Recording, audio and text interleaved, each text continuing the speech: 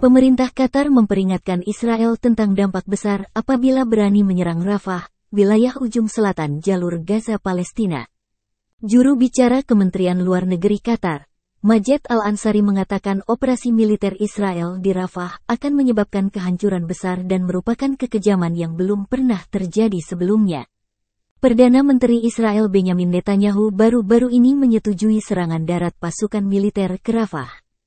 Persetujuan itu diberikan demi mewujudkan tujuan perang Israel. Tidak ada tekanan internasional yang akan menghentikan kami untuk mewujudkan semua tujuan perang, ujar Netanyahu dalam rapat kabinet, mengutip AFP, Minggu 17 Maret. Sejumlah pihak mewanti anti serangan tersebut akan menimbulkan bencana kemanusiaan yang lebih parah dari saat ini. Kendati begitu, Israel ogah mempertimbangkan seruan itu.